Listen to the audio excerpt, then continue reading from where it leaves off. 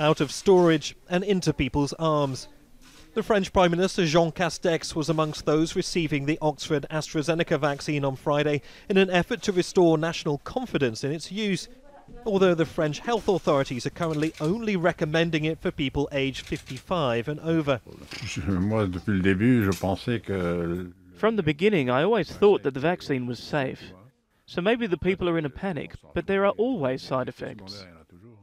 Germany and Italy have also restarted their rollout of the Oxford vaccine.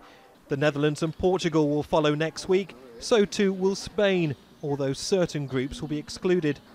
Sweden and Denmark said they needed a few more days to decide. But Germany's health minister warned that vaccines alone won't be enough to prevent a third wave of the virus.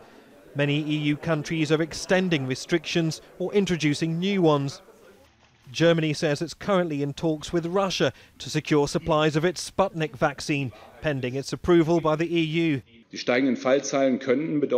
rising case numbers may mean that we cannot take further opening steps in the weeks to come. On the contrary, we may even have to take steps backwards. In France, 16 regions, along with Paris, are going into a month long lockdown from this evening.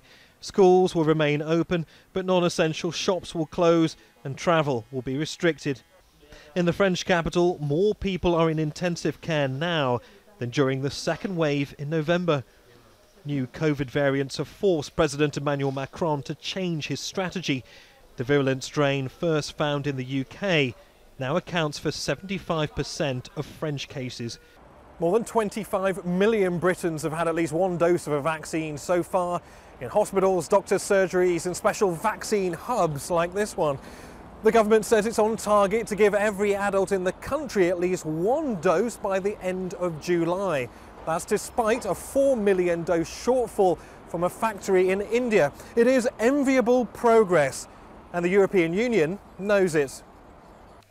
With the Oxford AstraZeneca jab now reapproved, the EU must move quickly to make up for lost time. Neave Barker, Al Jazeera, London.